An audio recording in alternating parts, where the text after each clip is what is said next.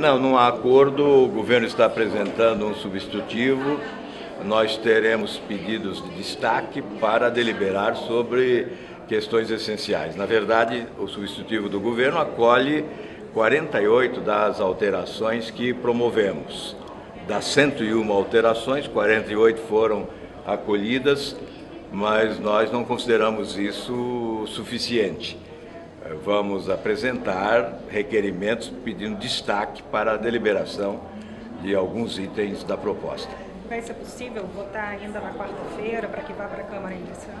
É, certamente votaremos na quarta-feira. Há uma intenção do presidente Renan de iniciar a ordem do dia às 14 horas, exatamente para que possamos ter tempo suficiente de debater e deliberar a respeito do Plano Nacional de Educação.